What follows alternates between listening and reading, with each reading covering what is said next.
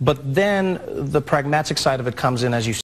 Mm-hmm. How do you pay for these? You know, you always see people coming in with economic arguments, mm-hmm. and they say, look, these don't really add up. You know, in order to get health care for everybody, this is what it would cost. Mm-hmm. That's going to be troubling, even if just the Republican tax deal, that's only going to make up 5% of what we need to pay for Medicare for all. Mm-hmm. You know, uh, how do you pay for education for all? How do you pay yeah. for all of these, these items?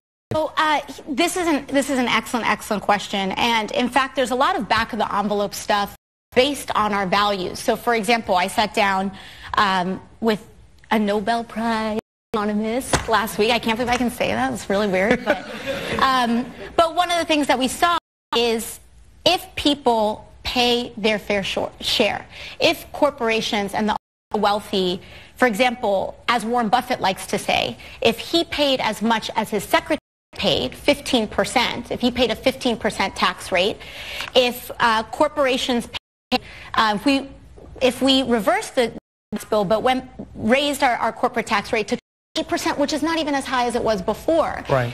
If we if we do those two things and close some of those loopholes, that's $2 trillion right that's $2 trillion in 10 years. And it's why one of the wide estimates is that it's going to take $3 trillion to transition us to 100% renewable economy.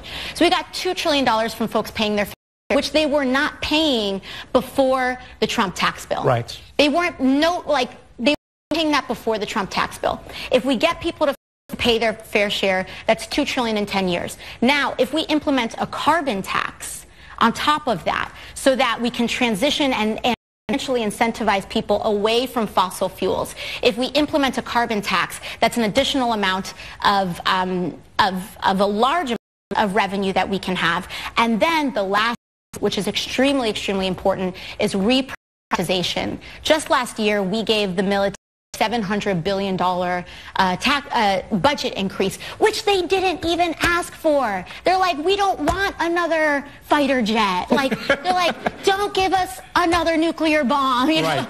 They, they didn't even ask for it. Gave it to them. And